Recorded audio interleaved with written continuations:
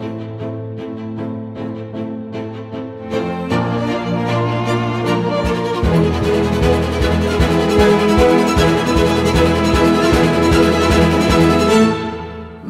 sevgili seyircilerim. Özür dilerim. Bir an boş bulunmuşum.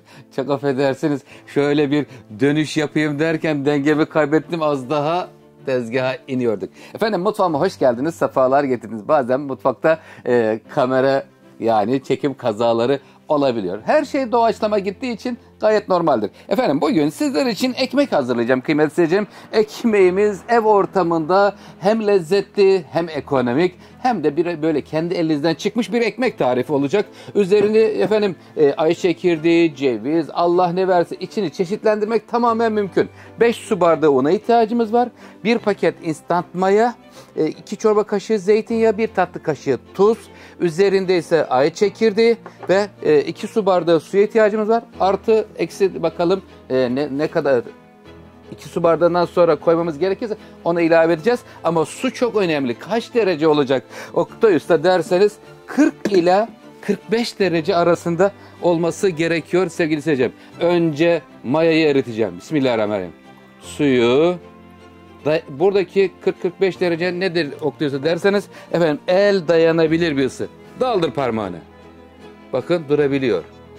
Eğer ki sıcak olsaydı ben burada böyle anam yandım derdim demedim. Efendim şimdi mayayı e, kıymetli seyircilerim bir paket instant mayayı buradaki suyun içerisine alıyorum. Sevgiyle iniyor ve burada eriteceğiz. Eritiyoruz. 5 dakika bekletiyoruz. Maya çözülüyor. Ondan sonra ekmek yapımına geçiyoruz. Son derece kolay ve çok keyifli oluyor ekmek yapmak evde sevgili seyircilerim. Siz de yapabilirsiniz. Hiç zor değil. İnanın çok kolay. Eritiyorum mayayı.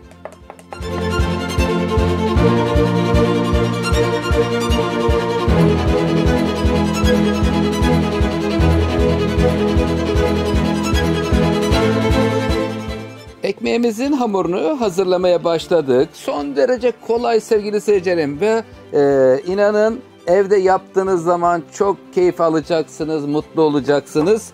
Sizlerin mutlu olması için hazırlıyorum bu güzel tarifleri. Sevgili seyircilerim burada ne, ne vardı? 5 su bardağı un yaklaşık 600 gram yapar. Bir paket instant maya, bir tatlı kaşığı tuz. Efendim güzelce hemen 2,5 2 bardak suyu koydum. Ee, kıymetli seyircilerim. İki, bu da iki buçuğa giden su olacak. Böyle kulak memesi yumuşaklığından az daha yumuşak olsun. Yumuşacık evde hem ekonomik hem lezzetli hem sağlıklı ekmekler hazırlıyoruz. İçini cevizli, zeytinli, domates kurulu, biberiyeli, kekikli Allah ne verdiyse. Neyi seviyorsunuz onu koyabilirsiniz. Ben yarım bardak daha su koymuştum. Bakın bir parmak kalmış burada görüyor musunuz? İki buçuk bardaktan biraz daha az su aldı. Ölçüsü nasıl olacak Oktaysa derseniz bakın işte böyle. Ne çok katı ne de çok yumuşak. Durur musun canım sevgiyle? Duruyor. Püf noktası çok iyi yoğurmak gerekiyor. İyice yoğuracağız. Ondan sonra mayalandırma bölümüne geçeceğiz. Zeytinyağını koymadı noktası diyen seyircilerimiz var. Efendim zeytinyağını ekmeğin şeklini verirken kullanacağım.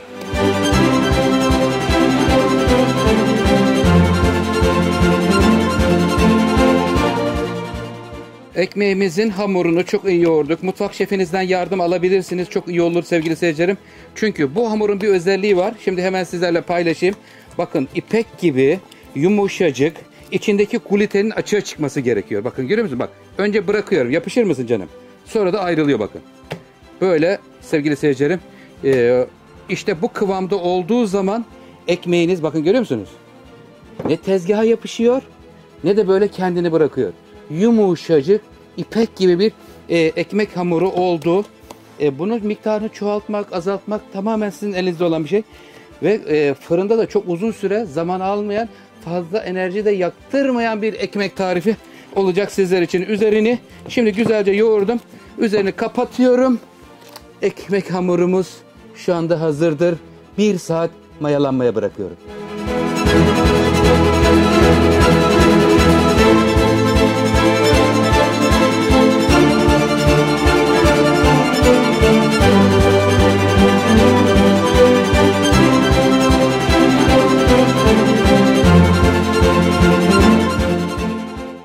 Sevgili seyircilerim, zamandan tasarruf etmek için e, fırını önce 50 dereceye ısıttım. Fırına gönderdim. Fırında mayalandı. Altına da bakın şöyle bir aparat koydum ki direkt metale gelmesin diye. Şöylece alıyorum. Ve şimdi mayalamış olduğumuz hamurumuzu özür dilerim bu fırını tepsiyle fırına hemen gönderiyorum. Tezgahtaki çalışma alanımın rahat olması lazım. St- streç film kapatmıştım. Kıymetli seyircilerim. Çok güzel mayalanmış bakın. Gayet güzel olmuş. Şimdi kıymetli seyircilerim. Burada iki çorba kaşığı zeytinyağı dedi nokta üstte. Daha henüz zeytinyağını hiçbir yerde kullanmadın diye düşünebilirsiniz. Son derece haklısınız. Şimdi zeytinyağını şurada kenardan hafiften bir veriyorum. Niye veriyoruz? Burada hamur çok yumuşak. E, bu hamuru buradan alabilmenin e, en kolay yolu ve yöntemi yandan biraz yağ verirseniz kolay bir şekilde buradan ayrılır kıymetli seyirciler. Ayrılır mısın canım rica etsem? Evet ayrılıyor efendim. Bismillahirrahmanirrahim. Özür dilerim tezgaha da birazcık şuraya yağ döküyorum. Şimdi düştüğünde hamur buraya yapışmasın. Geliyor ve geldi görüyor musunuz? Evet gayet güzel yumuşacık adeta pamuk gibi bir hamur. Kıymetli seyircilerim hemen dörde kesiyorum bu hamuru. Evet bakın çok yumuşak. Öyle yumuşak ki sevgili seyircilerim ekmek hamurunun özelliği çok yumuşak olması gerekiyor. Yumuşacık ekmek hamurunu şimdi dört bezeye bölüyorum. Böldükten sonra e, yuvarlıyoruz ve sonra da şeklini veriyoruz. Adeta akıyor. İpek gibi. Sevgili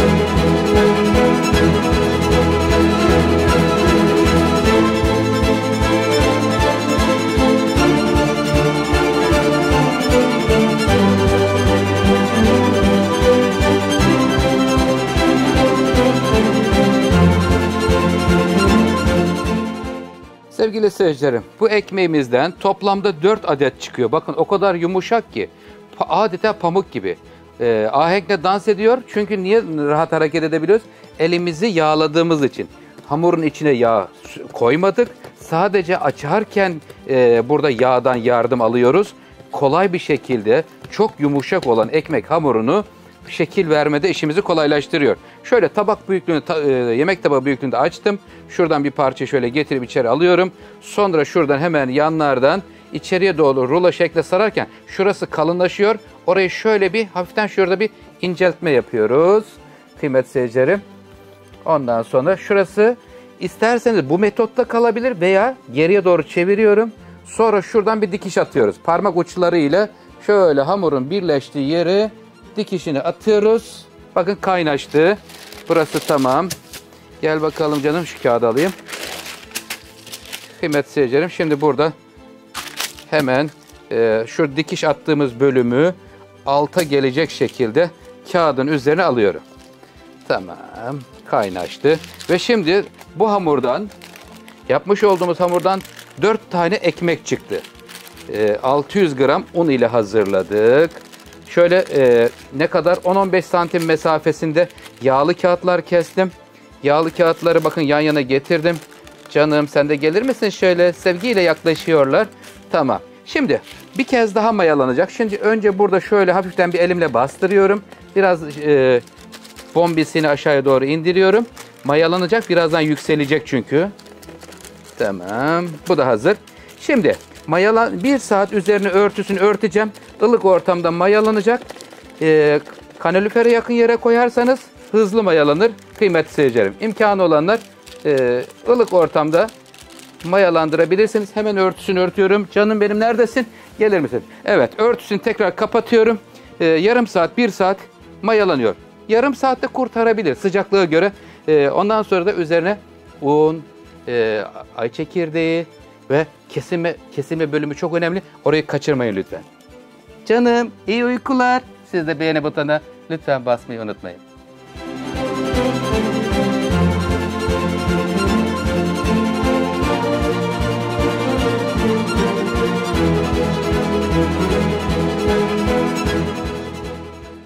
Ekmeğimiz mayalandı kıymetli seyircilerim. Tekrar fırına attım. 50 derecelik fırında bakın. Çok güzel mayalanmışlar.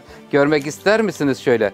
Aralarına koymuş olduğumuz her kağıtla koyduğumuz için mayalandıktan sonra kıymetli seyircilerim e, birbirine yapışmasını önlemiş oluyor. Dört tane ekmek çıktı. Hem e, güzel böyle ekonomik, ondan sonra mis gibi kokular evinizden gelecek kıymetli seyircilerim. Evet hemen şöyle suyunu, aa, özür dilerim önce çentiklerini atacaktım ama unutuvermişim. Hakkınızı helal edin. Kıymetli seyircilerim önce e, jiletle çizgilerini atıp ondan sonra suyunu sürecektim. Bakalım bir değişiklik olacak mı? Kısmete geldi böyle. Normalde önce jilet atacaktım ondan sonra e, şöyle ya çok keskin bir bıçak veya jilet yardımıyla şöyle aa, suyu e, özür dilerim sevgili seyircilerim. Suyu sürmeden önce e, bıçak ya da jilet yardımıyla çizgilerinizi çizgilerini atmasını tavsiye ederim. Çünkü hafiften bir e, şey yaptı. Islak olduğu için ekmeği e, şey yaptı üzerindeki çizgileri biraz zorlaştırdı.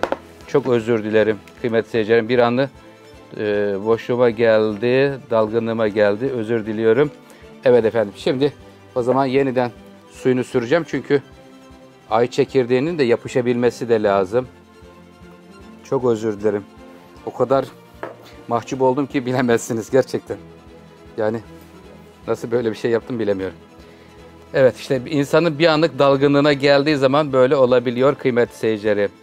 Şimdi e, ay çekirdeği, e, un böyle değişik değişik motifler yapabilirsiniz kıymetli seyircilerim.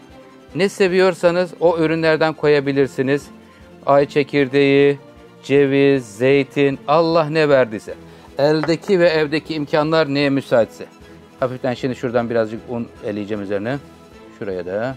Hafiften bir un dokunuşu. O suyu hemen çekmiş oluyor. Su biraz çektikten sonra unu verelim. Şimdi Şu anda fırınımız 180 derecelik ısıtılmış olarak bizi bekliyor. Kıymetli seyircilerim hemen 180 derecelik ısıtılmış fırına bakın. Ee, fırına gitmeden son şeklini görmek ister misiniz? Ay çekirdeğiyle süslendi. Sıcak fırının 180 derecelik ısıtılmış fırının orta katın bir altına gidiyor. Kıymetli seyircilerim şimdi gidiyor bir altına yaklaşık olarak 25 ile 30 dakika arasında pişiyor. Ekmeklerin yumuşaklığını devam edebilmesi için ise B planımız neydi? Hemen bir kaseye önce bu suyu koyarsanız iyi olur. Bugün Oktay bayağı bir dalgın günde. Önce suyu koyun fırının e, zeminine. Buradan e, mayalı ekmekleri nemlendirmeye devam ediyor. Sizler de ekmeğimiz pişerken kanalıma abone olup yorum atar, atarsanız çok mutlu olurum. Ama bildirim zilini lütfen açın. En yeni tariflerden haberdar olmanız için. Şimdi fırından gelecek olan güzel kokuları bekliyoruz.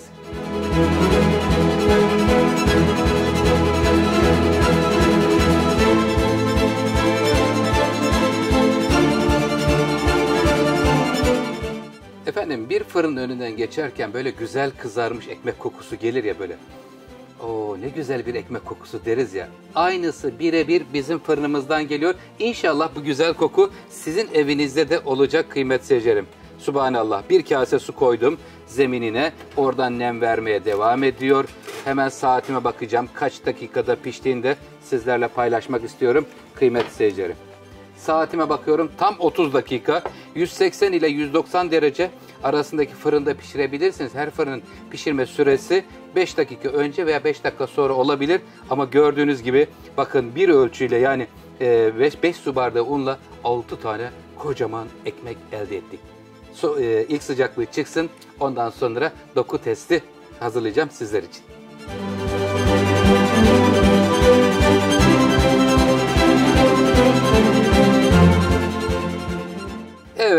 Sevgili seyircilerim ekmeğimiz artık soğudu. Oda sıcaklığına geldi. Dört tane büyük efendim ekmek elde etmiş olduk. Güzel bereketli oldu elhamdülillah. Rabbimize sonsuz şükürler olsun. Şimdi hemen bir ekmeğimizi sizlerle paylaşmak istiyorum. Bakın görüyorsunuz. Ee, alt tarafı da pişmiş. Şimdi bir dilimleyelim. Çocuklarınıza sandviç de yapabilirsiniz. Böyle kesin içine kaşar peyniri, beyaz peynir, güzel istedikleri, sevdikleri ürünlerden koyabilirsiniz içerisine. Şimdi ekmeğimizi dilimliyorum. Ondan sonra sizlerle paylaşmak istiyorum. Kıymetli seyircilerim bakın görüyor musunuz? Dilimlerin e, çaplarını da sizlerle paylaşıyorum son derece güzel bir ekmek oldu. Sofralarınız bereketli olsun. O güzel ekmek, pişen ekmeğin kokusu inşallah sizin evinizde olsun. Ee, sizler bana destek oluyorsunuz. Çok teşekkür ederim. Sofralarınız bereketli olsun kıymetli seyircilerim. Hoşçakalın, sağlık kalın. Yeni tarifler gelmeye devam ediyor. Lütfen bildirim zilini açmayı unutmayın efendim.